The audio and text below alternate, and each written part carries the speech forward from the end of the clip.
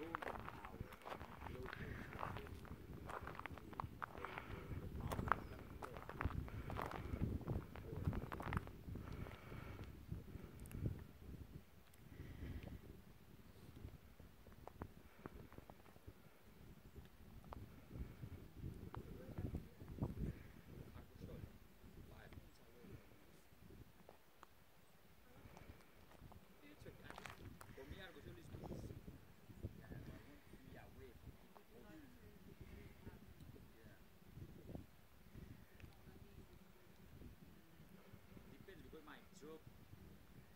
It's okay because I have a lot of time. But in the summer, I have to be close to everything.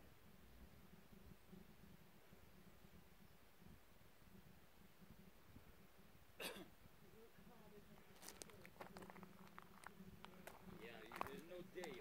And usually we, try to combine work with holidays. So, so yeah, if it gets windy, later I'll go kite surfing.